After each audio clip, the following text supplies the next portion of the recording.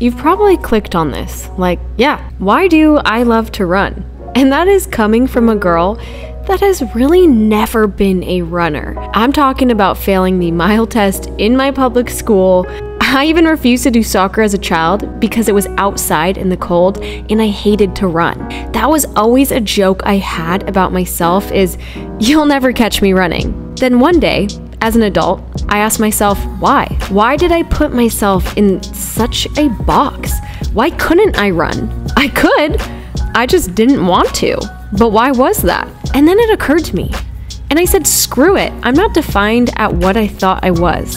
To be honest, I think I was a bad runner because I had a PE teacher when I was a kid tell me that when I was young. So then forever, I was in that box of I'm not a runner.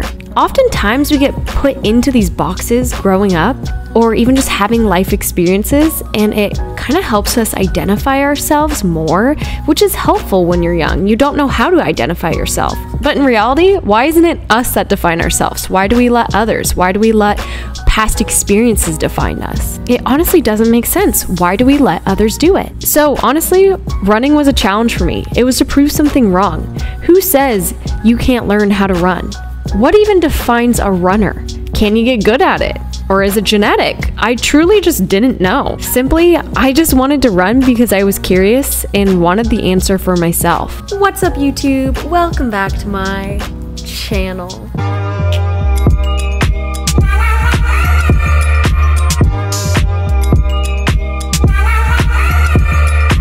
Hi, hello, how are we? Happy whatever day of the week it is for you. I am coming at you with a new video, one that's a little different, and I really wanted to dive into why did I pick up running two years ago? For those that have followed my channel, you have seen that I picked up running in the beginning of COVID. I couldn't lift weights, I couldn't go to a gym, so I figured why not go for runs? I was near a beach and it had a boardwalk for miles. So I actually worked on improving my mileage. I learned how to run distance. I even learned how to sprint. To be honest, I didn't even know how to run outside. My throat always hurt when I'd run outside. And I really overcame all those obstacles. And now I love running. So I figured, why not just kind of make a YouTube video on why I love to run in hopes that it inspires you? Because I think it was a great hobby and it was a saving grace during that really tough time. Now I love to run, especially just to get away from reality at times. I want to just go for a run by myself. It's a healthy way for me to release stress. And of course, I'm not doing it too much. Too much of anything would not be healthy. But I just kind of wanted to be open on why I really started running and, and why I love it. Honestly, it's crazy. At first, my throat hurt. My feet got blisters. I needed to fix my stride. I needed proper running shoes. I was slow, and I still am, okay? I'd get bored on my runs. I had a lot of side cramps, and honestly, breathing was really difficult for me. And I had to learn to start over.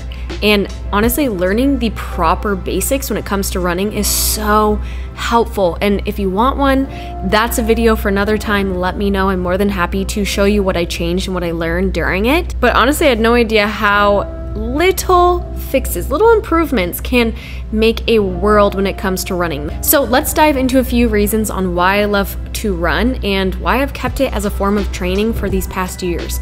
And do I do it every day still? No. Honestly, it's more of a season for me. When I lived in New York, I didn't really run, but now I live in a suburb that I have the space to run. So it's really a season and a time. Of course, I do love running at the gym, but, but there's nothing that makes me happier than running outside. To each their own, I just love being outside always and putting on a banger playlist when I go for a run. So the first thing is it keeps your mind sharp. What I really mean by this is in general, cardiovascular exercise can create new brain cells and improve overall brain performance. I know that is general cardiovascular, it's not just running, but honestly, long term, think about it. You're doing your brain justice. Next up, it's good for your joints. And a lot of people do think that running itself can accelerate natural wear and tear on your body, but there's also medical research that shows that it's preventative when it comes to arthritis. Like I said, there's a lot of pros and cons, and I'm not disagreeing. It doesn't possibly accelerate wear and tear on your body, but I will say there's some medical research that it prevents against arthritis. And that is all I will say. Next up, it's very cost effective. You can run anywhere. That's one of my favorite things is I travel a lot. You guys have seen my lifestyle. I'm always on the go. So I can get outside depending on where I'm at and I can generally go for a run. Maybe I can go to a school campus and go run on the track. I love that you don't require anything but you and shoes and of course clothes. Next up is this perfect me time and it can also help cope with stress, kind of like I touched on. Guys, nothing clears my mind more than when I go for a run. Sometimes, if I'm feeling frustrated, and lately I have been feeling frustrated, what do I do? I go for a run. I go alone, I pop in some music. Maybe I don't even listen to music, but it's fantastic me time. That even goes along with walking. But honestly, how I really relate to myself and really spend time with myself is doing some sort of physical activity. That's different for everybody. Some is lounging, some is reading a book, some is journaling. When I can see the power that I have and when I can really almost bond with myself and like, oh my gosh, you beat your mile time. this sounds so weird. I'm like talking in third person. But honestly, it is just a way that I bond and spend time and I feel more connected than ever when I go for a run. I can hear my aches, I can hear my pains, I can hear my accomplishments, I can hear my real thoughts. Especially if I don't have music, I just truly am talking to myself the entire time and I don't know how else to describe it, but I love it. So, next time you go for a run, think of it as spending time with yourself. Last but certainly not least is you can enjoy nature. And of course, depending on where we are, I know it's winter, we can't always run outside, but if you can, if you have the chance, if you can bundle up, I am just someone that's a big nature gal. Living in New York, I realized how much I needed nature around me and how much I feel connected when I'm with nature.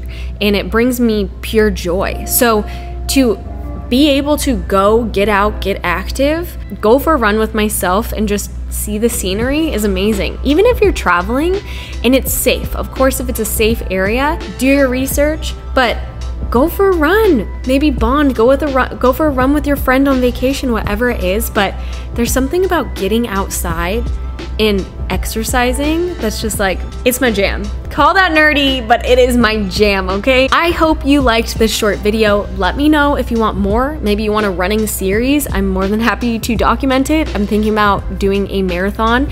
I was training in the past, and then with COVID, we never ran one. So, comment down below your thoughts. Comment down below why you love to run or your thoughts on running in general. So, with that being said, don't forget to like and subscribe to YouTube channel, and I will see you next time.